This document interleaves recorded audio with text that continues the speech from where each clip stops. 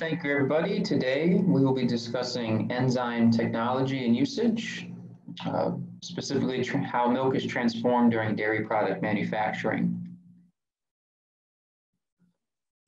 Specifically looking at a one-on-one level of enzyme chemistry, some of the main enzymes in milk and how you might think about how they're partitioned, where they end up, how they get into milk.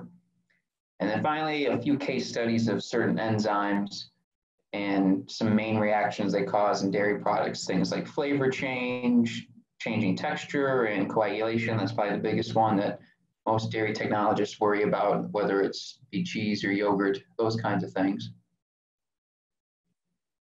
Okay, so now let's talk really briefly about sort of a quick and dirty way of how you can think about enzymes being partitioned in milk, and it's based on what they break down.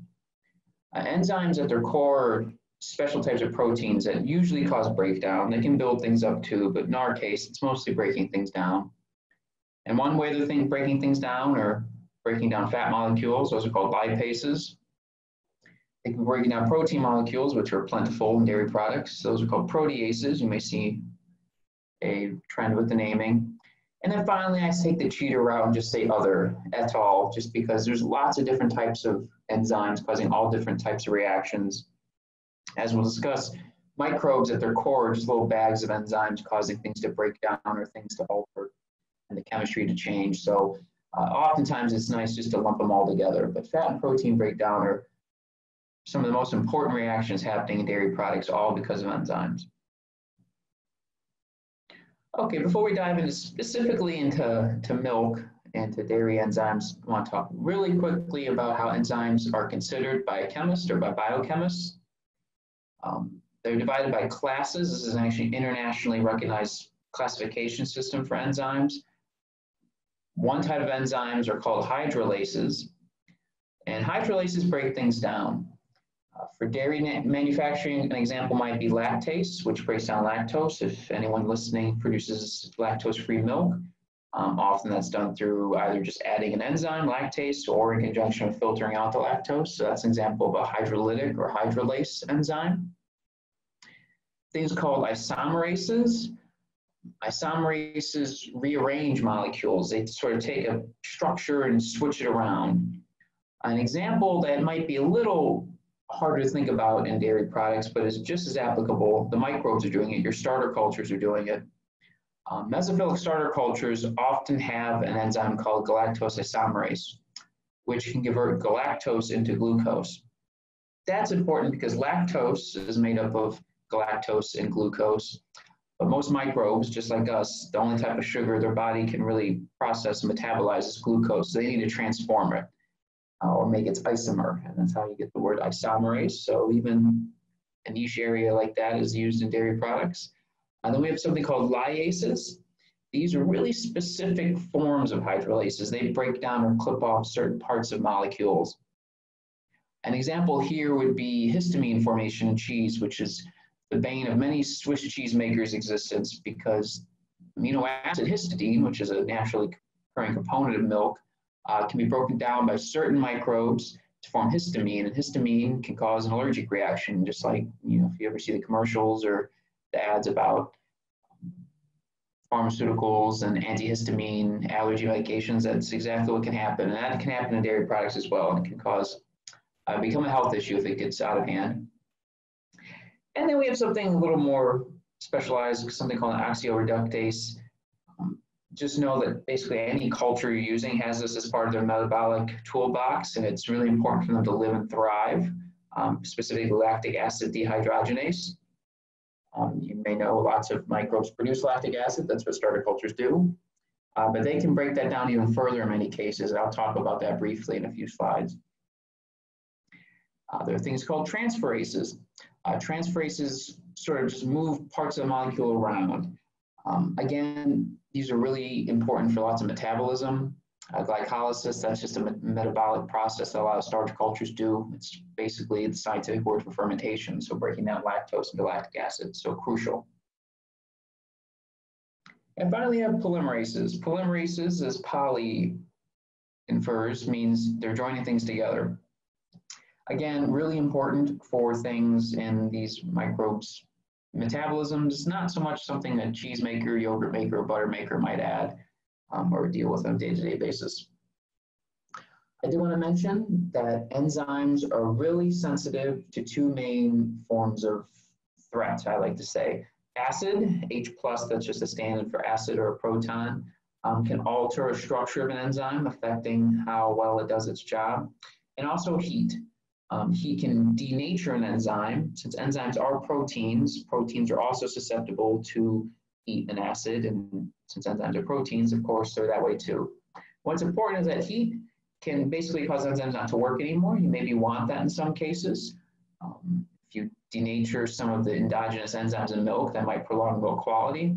Or maybe this can cause a problem. You overheat your milk with your rennet and rennet may become less, less effective if it's been damaged in some way. So let's really quickly cover what an enzymatic process would look like. Um, I like to say enzymes make things happen. A lot of these reactions would happen on their own. They would just take many, many years to occur. Enzymes help speed that down into a fraction of a second. Uh, enzymes are really specific for what they do. Enzymes only act on certain kinds of molecules, certain kinds of ways, and certain kind of conditions.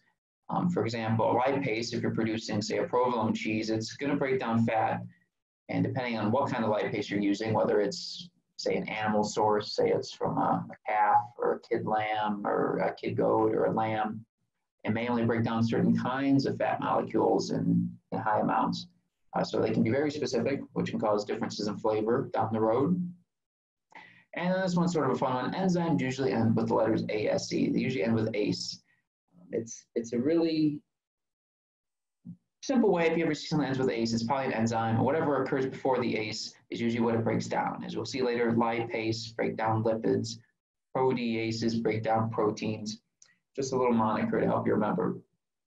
So at a really schematic level, what enzymes are doing um, is they attack things what we call substrates. Substrates are basically what enzymes are acting upon. And together we call these the reactants. These are the things that are going to react and form the chemical reaction. Um, oftentimes, the enzyme will bond with its substrate, or the substrate will attack the enzyme's what's called active site, which we'll talk about in a second. And then a reaction occurs. Here I'm showing a hydrolysis, a breakdown reaction, but other things can happen as well. And total, we call those products, um, basically the end, the end state of what an enzyme acted on. So it's more pictorial schematic view, say that might be an enzyme. This is actually salivary amylase, an enzyme that's found in your saliva. It breaks down starch. Um, I just, I like the picture, so that's, forgive the one non-dairy example today. Um, but this could occur for basically any, any enzyme. Um, active site is a special pocket in that enzyme. You see that little yellow molecule there, and that's where the magic's happening. That's where the breakdown is occurring. And what's actually happening when you expose enzymes to excess acid or heat is that pocket's changing shape. So now that unique puzzle fit that it had with its substrate can no longer fit in there, enzyme becomes less active. Okay, I think we've covered enough of the 101 background. Now I think we could dive into some specifics of dairy products and the enzymes that occur within them. Um, this is how I like to think about how enzymes are partitioned. I like to think about them being indigenous to milk or exogenous to milk or the dairy system, whatever product you have to be making. And even from there, we can get more specific. Um, enzymes can be indigenous to the milk itself. They can be things that are basically left over from the cow's metabolism that got carried right along with the milk. Or they can be indigenous to the milk by factor that milk isn't sterile, that has lots of interesting bacteria, yeast, and other microbes growing in it. And each one of those microbes, like I said earlier, are bags of enzymes. So that native flora is a huge pool of potential enzymatic activity. And then we have exogenous enzymes, I like to call them. And these are things basically that are added either directly or indirectly by the dairy technologist or the cheese maker or the yogurt maker. And these could be things like if you're adding starter cultures, starter cultures, the actions they're doing are all because of enzymes. Maybe you're adding adjunct cultures or molds or flavor producing cultures. All that's enzymatic based at the end of the day. Or they can be added directly. Famous example of an enzyme most dairy people add directly is rennet or coagulants. That's a protease that breaks down the protein. Um, but maybe you can add other enzymes too, like sometimes you're adding a lipase to, to encourage flavor development more quickly. Okay, now I want to go through each one of these four really quickly, and then we're going to dive into some case studies of each, and then we'll basically take us through today's talk. So let's first talk really quickly about some of the classes, I like to call them, of indigenous milk enzymes.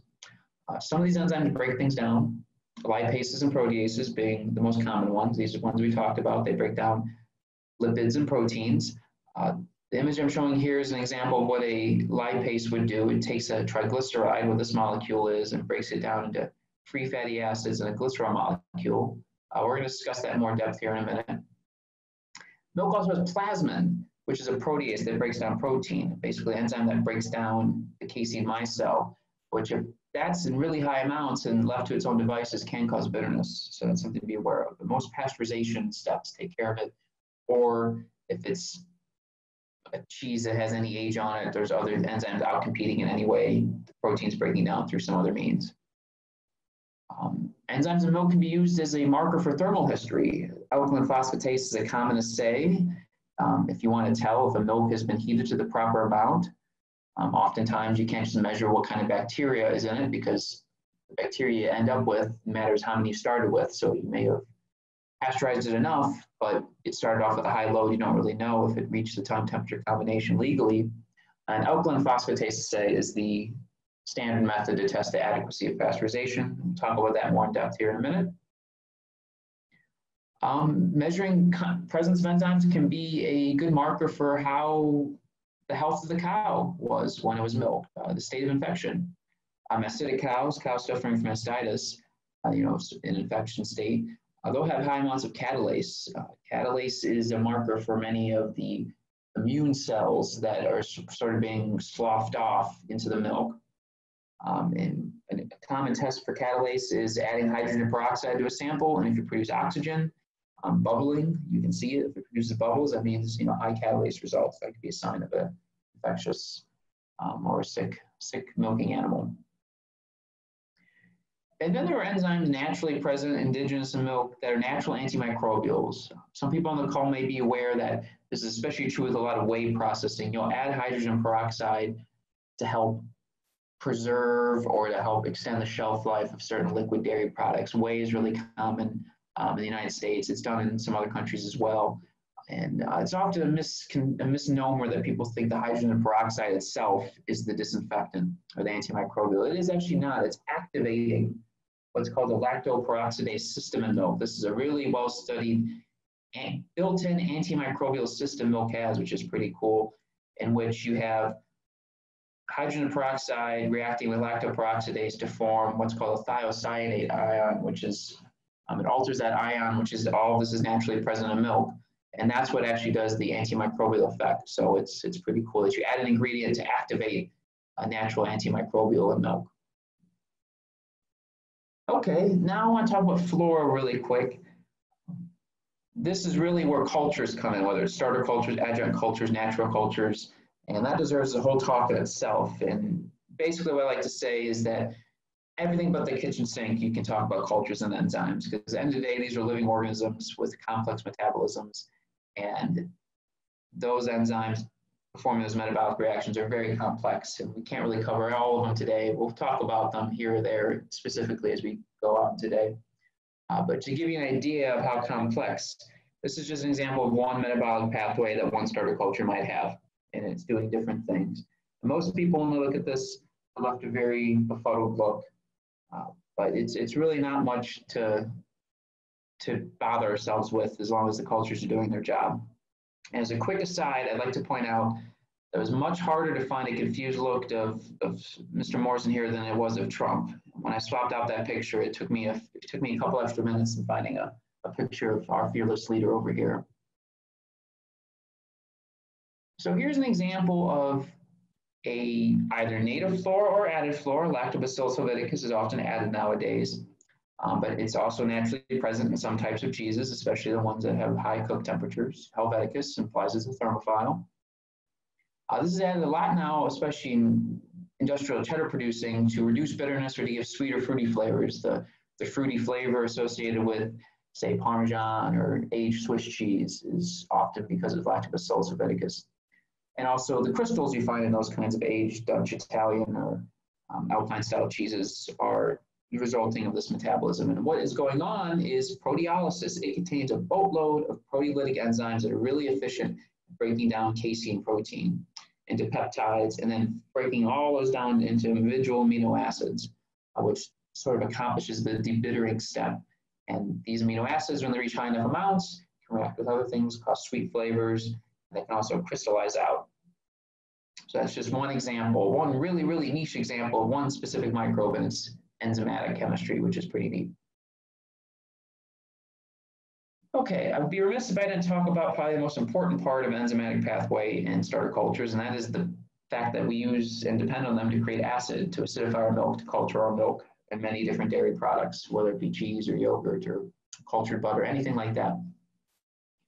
And so often we think about two main sets of microbes being involved with the culturing step of a dairy product and mesophiles and thermophiles, and they have different unique sets of enzymes which cause different end products. Mesophiles, for example, have lactase, they have that hydrolase, they're able to break down lactose into galactose and glucose. And as I mentioned earlier, they have that isomerase, so they can, they can convert that galactose into glucose, and that glucose can be processed to form four times the amount of lactic acid for every molecule of lactose. Thermophiles, on the other hand, uh, big asterisk here, there's lots of subvariants of these microbes that may have it, but generally they lack or have smaller amounts of that isomerase, so they can't form as much glucose. That means that sugar builds up, and since that sugar isn't converted into something it can be fermented by this microbe, it builds up, it builds up, and not that things would taste sweeter, uh, but that can go through what's called Maillard browning and form uh, burning. And this is really a problem in lots of any cheese is meant to be cooked with, really. I just want a quick reminder, I'll be talking about um, acid throughout this talk a little bit in pH. Just a quick reminder, it's inverse relationship. So if I ever say something's higher acid, it's equivalent to saying lower pH and vice versa. Sometimes I use those interchangeably and it can be a little confusing. If I say high acid, low pH really quick, it might sound a little jarring. Uh, but the story doesn't end there. So we just saw how lactic acid could be formed or not formed, depending on the type of culture being used. But again, these microbes, depending on what ones you're adding as adjuncts, offer a whole suite of enzymatic possibilities as far as what can be formed. On starter lactic acid bacteria and its lab, um, they can have a different type of isomerase that converts lactic acid into what's called DL lactate or DL lactic acid. Um, that's important because that is more prone to crystallization. So you might get more calcium lactate crystals on your cheddar if you happen to have a microbe that that enzyme being overproduced. Propioni bacteria have a whole suite of enzymes that produce things like carbon dioxide to give the eyes of Swiss cheese, different proteases to give the, the nutty flavors of Swiss cheese. Um, surface ripening microbes, those are really proteolytic. They'll break down, um, not only they're very proteolytic, they're very lipolytic. They have lots of enzymes that can break down lactic acid into some really, really small substituent parts, small as water or carbon dioxide. And other microbes can form all sorts of other products as well. Like I said, this deserves a whole, whole talk, but I think we can leave it here saying that um, even the starter cultures you're using, it may seem simple at the end of the day, just they need to make lactic acid, but lots of them also have secondary, tertiary, and quaternary enzymatic pathways that can form all sorts of interesting compounds. Um, slightly related, but I love showing this graph. I'm a big graph person. Some people garden on the weekends for fun. I, I like to make graphs.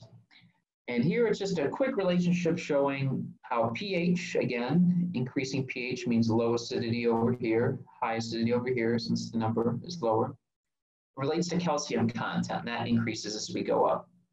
And you can clearly see some relationships right away that form. Um, I've just sort of plotted these cheeses um, as at time of eating, the pH and the calcium that they might have. As you see right away, there's a relationship there that it's a higher pH cheese, it probably has more calcium. And that has to do with how much acid is produced. It sort of dissolves calcium from the casein matrix and it sort of flows out with the whey. Just think of acid dissolving calcium in your teeth. Same thing happens in cheese, basically, into the casein micelle. But there are a few other things going on too, which are interesting. You see the acid set cheeses here, since these produce acid over a really long time, you know, uh, many hours, overnight in some cases, they really leach away a lot of calcium and that can cause really low calcium content over time. And then finally, you have ones over here, uh, which are really interesting. Uh, the astute observer might notice all these are mold ripen. And that's important because mold are really, really enzymatically active. All of this was basically a big roundabout way to talk about how molds are really enzymatically active and they like to break down everything. They like to break down lactic acid even. So these, these cheeses actually, day one, the uh, pH of brie or blue cheese is about the same as a feta or Cheshire. It's a very acidic cheese. Uh, but over time, that mold grows, it eats that acid, and that buffers the pH back up. So I have this a cool little relationship that all comes about because of just the enzymatic portfolio these microbes have. Okay, let's get back and talk really quickly about um, the last class, I like to call them uh, the direct addition. You may say, oh, well, this, this slide's pretty plain compared to the other ones. And that's because the rest of today's discussion, we're going to dive into each one of these into a little more detail. And let's let's do that. So the first one I want to talk about was the one I sort of mentioned in passing at the beginning. This is an indigenous milk enzyme uh, called alkaline phosphatase. Uh, just a real quick, some background knowledge for that. Um, that's really important for milk microbiologists because as we all remember, there are two types of microbes you find in milk. There are ones that can make you sick, which are pathogens, and there's ones that sort of make can make yogurt or cheese taste not so good, and that those are spoilage organisms alkaline phosphatase is really about the former. It's about trying to detect uh, the things of food safety concern, the pathogens, not so much the food quality or spoilage organisms. Um, just a quick fun aside, many food quality and spoilage organisms often have much more robust enzymatic systems than pathogens. And we can probably be thankful for that because these often through our normal means of whether it be pasteurization or any other hurdles, acid, salt, they usually wither or can't grow very well. But lots of these types of microbes can grow and persist for very long times, and their enzymes are really robust. Um, which luckily, it only can mean differences in flavor or texture, not necessarily making anyone sick. So that's you can be thankful for nature for for that enzymatic fact right there. Uh, but with that in mind, uh, we could talk a little bit about pasteurization now. Um, as many people on the call are, I'm sure, aware of, is uh, pasteurization refers to the, the, the, heating step of milk, and pasteurization specifically refers to a specific time and temperature combination. Uh, here I have you know two most common ones recognized by law. It's the same law for you guys as it, as it is here in America. And it's if you can't reach the time temperature combos there, uh, high, you know, HTST, high temperature short time being the 72C for 15 seconds, or the LTLT, low temperature long time, uh, 63C for 30 minutes, if you can't reach that, then it's technically raw milk versus if you're able to get over that and reach that time temperature combination is considered pasteurized. What's important is that that time temperature combination also affects enzymes in milk, and that's where all this is leading up to. Uh, here I've plotted some what are called thermal death curves, and what that means is on the y-axis here we have time, on the x-axis here we have temperature, so there's a time-temperature relationship coming back. What's important is if you look at any one of these lines, anywhere you trace along that line means that is being killed or deactivated at that temperature. Um, so we can use coliform bacteria as an example. So at 70 degrees Fahrenheit, um, this actually should probably, this actually should be uh, Celsius. Um, for once, an American put Fahrenheit, we should put Celsius, isn't that funny? Um, at one second, it has been destroyed. Versus up here at 65, it takes 10 seconds. You can sort of see how that works. Uh, what's important for our purposes is if you see there's some really common, not so much anymore, um, typhus bacterium and the thing that causes tuberculosis bacterium and also Coxiella burnetii is here as well. Um, they all fall along these lines. What you notice, there's another line right above it sort of parallel to it. That's just slightly hotter and slightly longer, and that's alkaline phosphatase. So that means if we test milk and we don't find any alkaline phosphatase left, we've denature that enzyme with the heat, uh, we can be confident since its thermal death curve is above these microbes, the ones we're concerned with here, the pathogens, that we've probably almost assuredly destroyed those pathogens. So as you can see, phosphatase stays a great stand-in or a great way of measuring the adequacy of pasteurization because its thermal death time curve has a similar slope or angle And it's also slightly more resistant, meaning it's, you know, give ourselves a little bit of a safety check, a little bit of a wiggle room.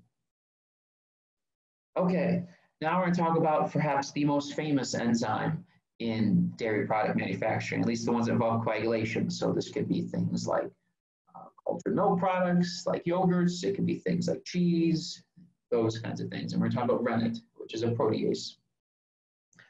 So rennet in dairy manufacturing circles is often used as a catch-all. Um, it's basically any type of coagulant used to turn solid curd from liquid milk.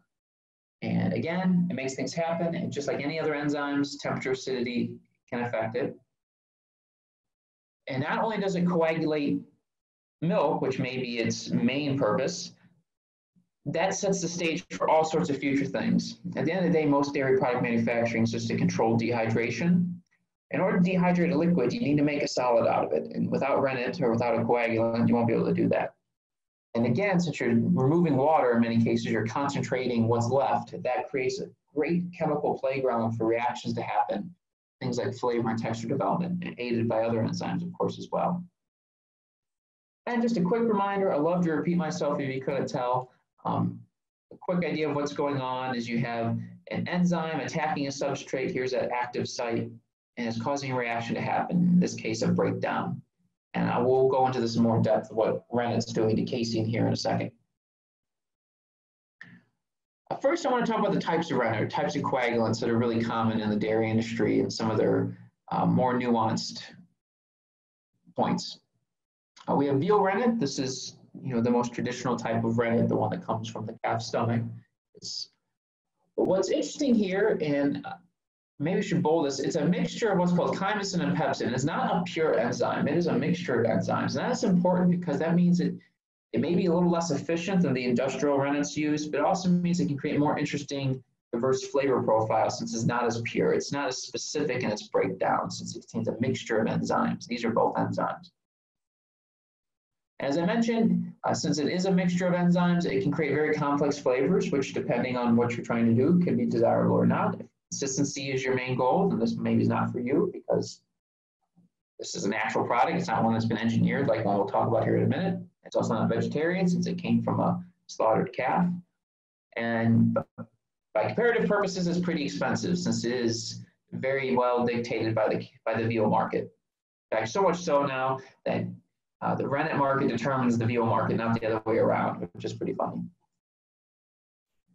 And then you have what are called microbial rennets.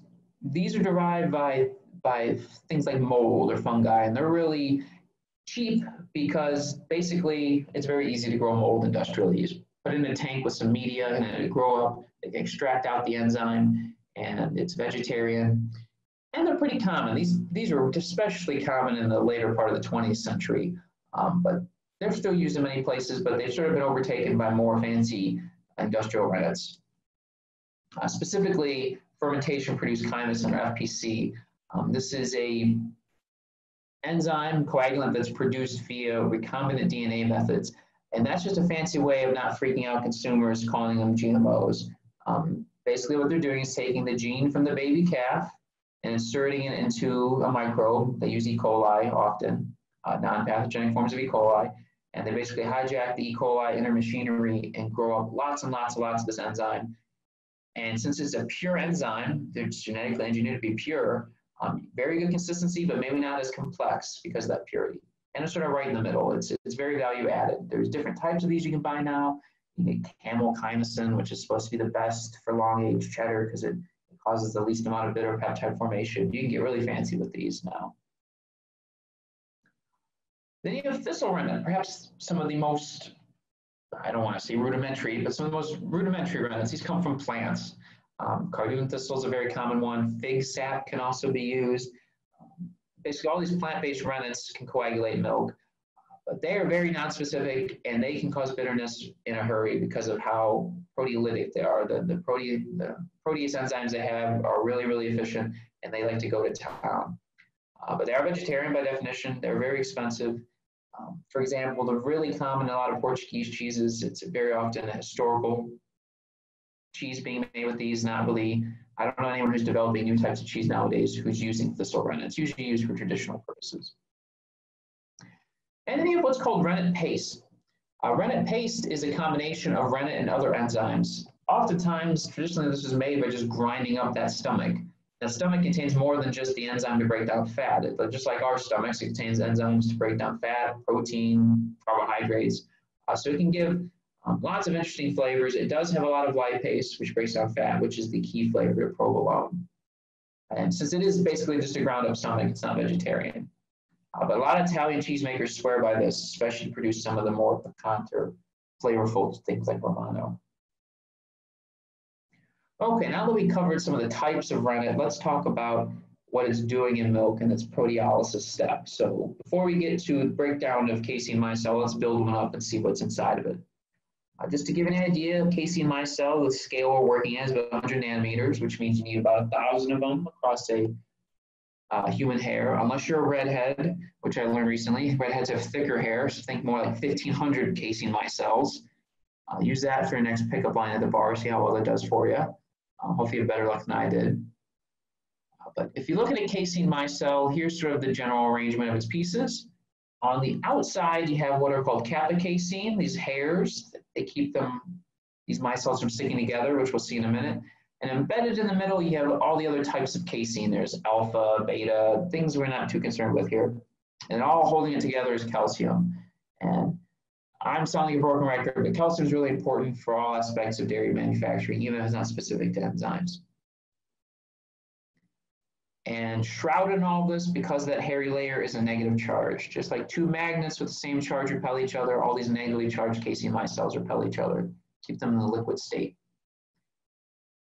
So what is happening when you add rennet or any other coagulant for that matter, um, to how specific it is depending on the coagulant, is that kappa casein is being transformed, it's being broken down by that rennet. So here comes that rennet enzyme and is cleaving a really specific area. Its active site, this little pocket is cleaving a very specific part of that protein.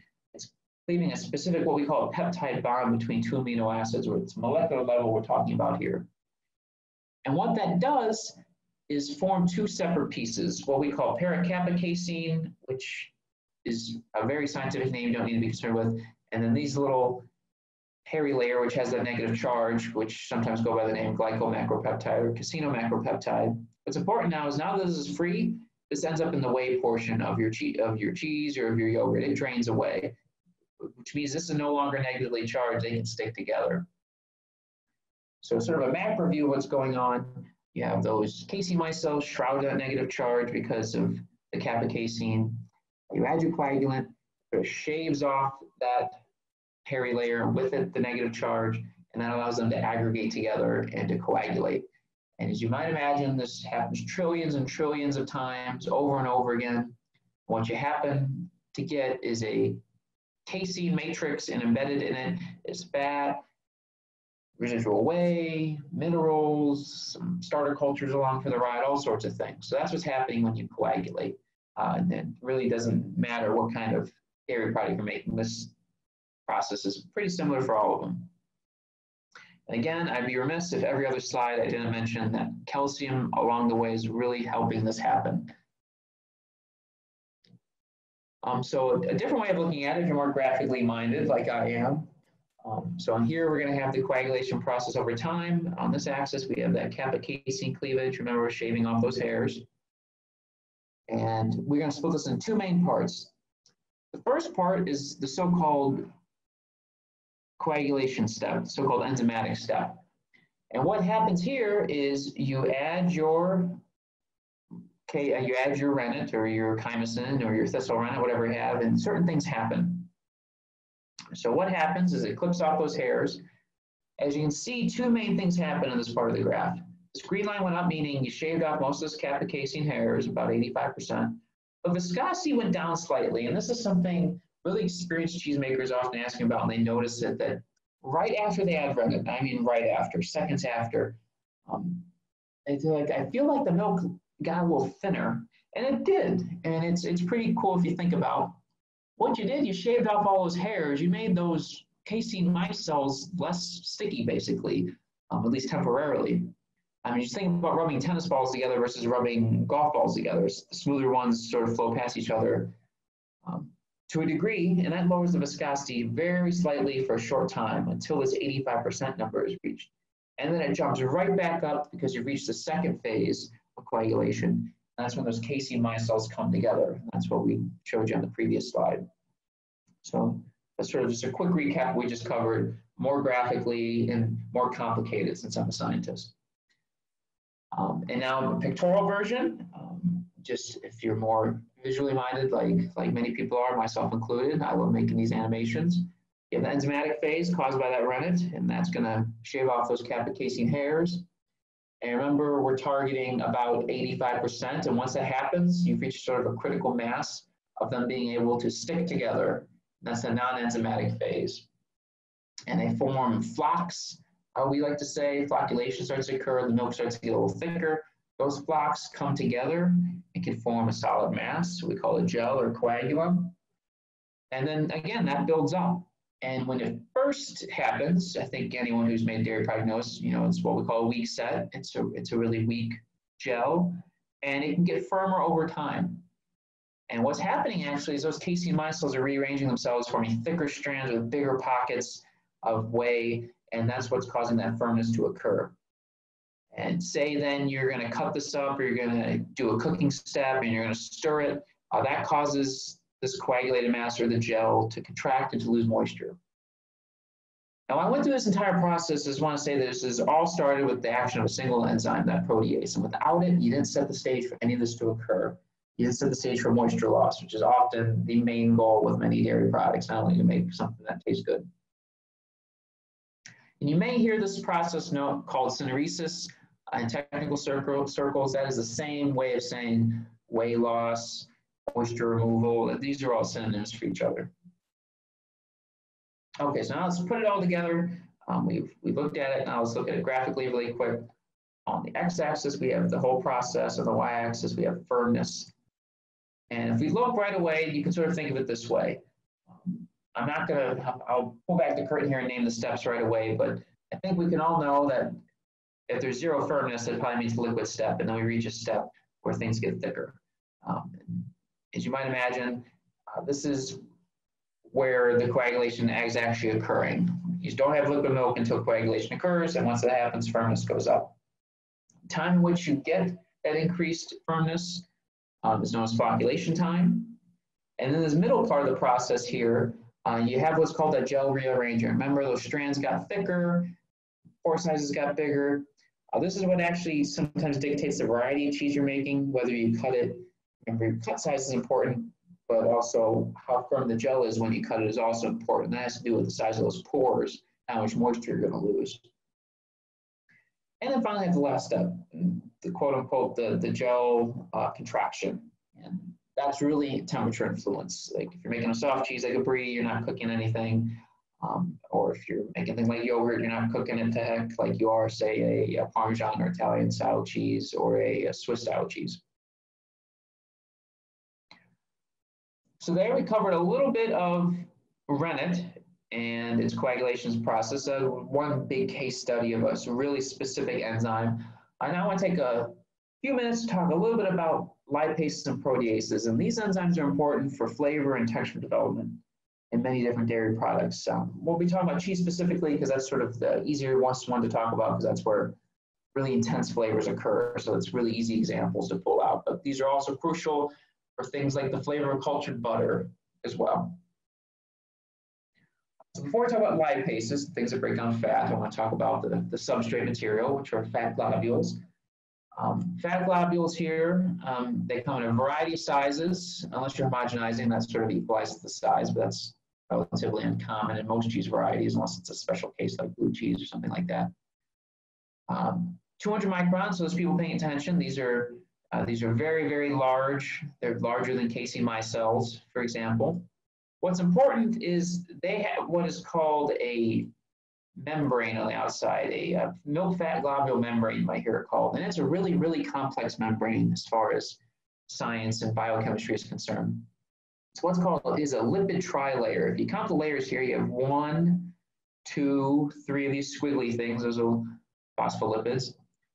And just a quick little trivia fact I love. When I discovered this, it made sense, but I never thought about it beforehand. But odd numbers aren't very common in nature, and lipid trilayers definitely aren't common in nature. Anyone who's done biology 101 knows a lot of our cells have membranes, but they're always bilayers. So where's this extra layer coming from? What's actually interesting is when a fat globule is formed, as you might imagine, in, in the udder, in the cistern of a cow, it's being pushed through a cell into where the milk is basically being formed. So this outer membrane actually started off in its infancy as the cell membrane inside the cow, which I think that's, again, another cool fact to impress your friends at the pub later on tonight. Uh, but what is important is outside this membrane is the serum. This is the watery portion of milk. This is where lots of things are occurring. Enzymes are out here, which is important for our discussion. And through all these layers is what's called triglycerides, and that's the main structure of fat. When they're kept intact, protected like this, they're not much flavor at all. But if this layer is violated, say through excess pumping or excess shear, you can expose more of that triglyceride core. And not only can enzymes get to it that cause maybe quote unquote desirable or undesirable flavors, depending on the case, but oxygen can also get in there too. And also enzymes called lipoxygenases, which help encourage the oxidation of fat. And while lipases have good and bads, I've never heard anyone who wants more oxidized fatty flavor in their dairy products. So I think that's almost always a negative one. And again, those enzymes can be naturally present in the milk, and all has to do with how the milk is naturally protecting that fat and keeping the enzyme partitioned away. There's a quick recap of some of the nomenclature. Here you have um, a triglyceride. It's tri because it has one, two, three fatty acids connected to a glycerol. And a really quick, fun example I'd say is it can the breakdown of a triglyceride because of lipase, the enzyme, can create something as really romantically flavored as H provolone cheese, like baby vomit, uh, started with something as plain tasting as milk, all because of this one reaction, formation of free fatty acids, which I think is pretty neat. Okay, so let's, again, I love to repeat myself. Let's take it step by step. You have the intact triglyceride with fatty acids like this, not much flavor or aroma. Um, it's, it's pretty common way of thinking big bulky things don't taste or smell like much. They're too big to interact with our olfactory glands. The addition of a lipase enzyme forms free fatty acids. These now can float up, interact, and smell and cause flavor. Um, but what's important with these fatty acids, like I mentioned earlier, lipases can clip some of these off preferentially, uh, which we'll talk about in the next slide as far as animal flavors. But really quickly, a quick aside, um, you go to this link, it's hosted on one of the websites I run, and it talks a little bit about the length of fatty acids and the flavors they cause, uh, which I think is a pretty cool uh, thing to think about. Fatty acids occur in multiples of two carbon atom length. The actual chemistry doesn't matter, but if you're ever curious, again, you want to you know, know how much to do on the weekend, you come here and slide this along and see what kind of flavors are caused by certain fatty acids. Butyric acid here, that's just four carbon atoms long. Um, that causes the key flavors in things like provolone, Romano cheese. If you get a little longer, six through 10, we call these medium chain fatty acids. And anyone who's a Latin scholar might see something here, caproic acid, caprylic acid, capric acid, caprine. These are all words for goat. As you might imagine, these are really important for goat cheese flavor. And the enzymes, the lipase is naturally endemic in goats, preferentially clip off these. And you can get longer, you get sort of more defective type flavors. Okay, let's let's dive back into the into the fun stuff Of course, it doesn't end there. Just like we learned that lactic acid is only intermediary.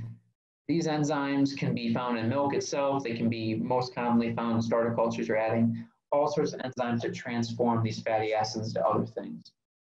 Um, you can have what's called cyclization reactions, which are making circular compounds, things like lactones.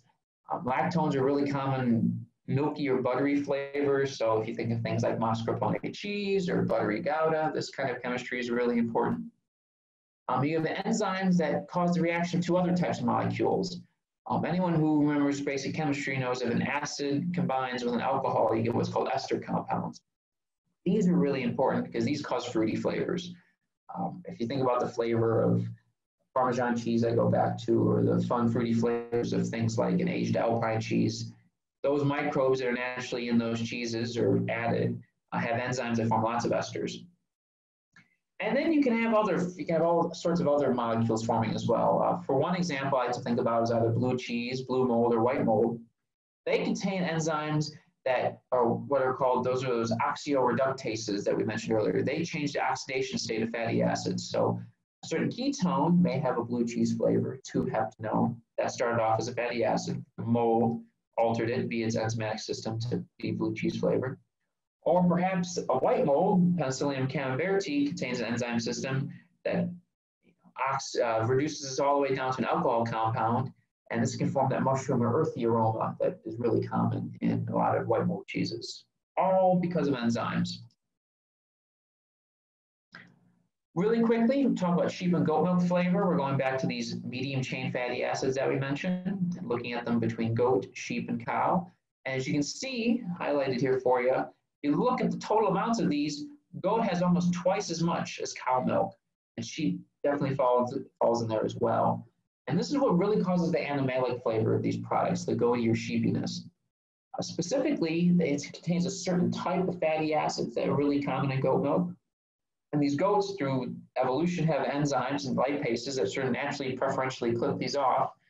And this sort of explains why goat meat, uh, goat meat, well, that too, but goat milk smells like goat's uh, goat milk tastes like goat smell. There we go. Delicious way of putting that. Any of things like phenolic compounds in sheep that cause a lot of these flavors as well. Not directly related to our discussion of enzymes, but what kind of academic would I be if I didn't include spurious information? So now we looked at lipases, which break down lipids or fats. Now let's look at proteases, which break down proteins. We already looked at rennet, so we sort of know the basics of protein breakdown here. Uh, but proteases can break down proteins into peptides, uh, basically smaller pieces of proteins. Some of those are very bitter. If anyone's ever had a really bitter cheddar, it's due to bitter peptide formation.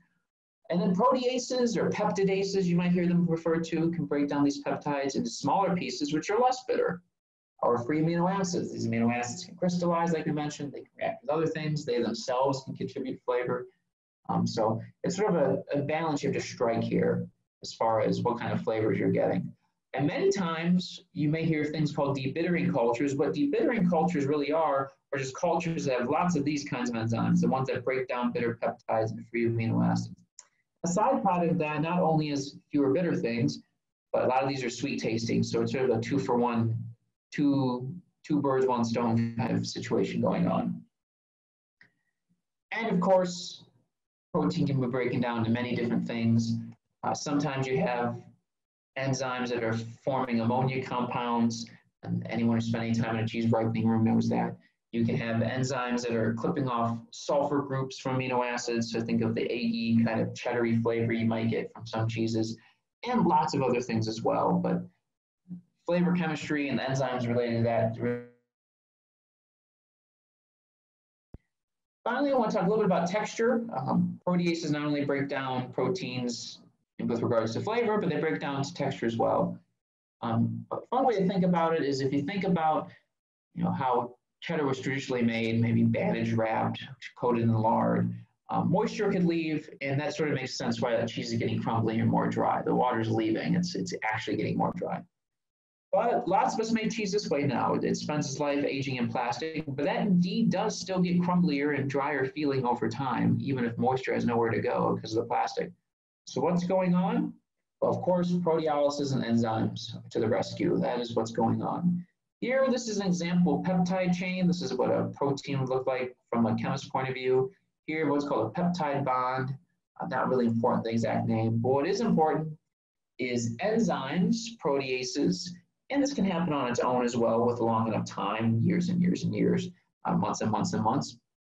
With the presence of water, will break down this peptide chain into smaller pieces, and that causes the structure to change, to get more crumbly and to get drier. And you can see that sort of water molecule is used up in that process.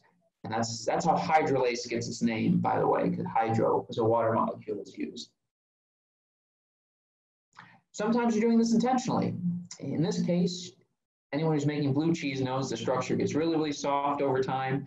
And that's because you're adding a mold which has lots of proteolytic enzymes That's basically chopping up that protein matrix into smaller and smaller pieces, really making that texture um, really soft, really meltable, can't hold onto the fat anymore. You've, you've completely disrupted that curd matrix at this point, but all for intentional purposes because that is what that cheese is supposed to be.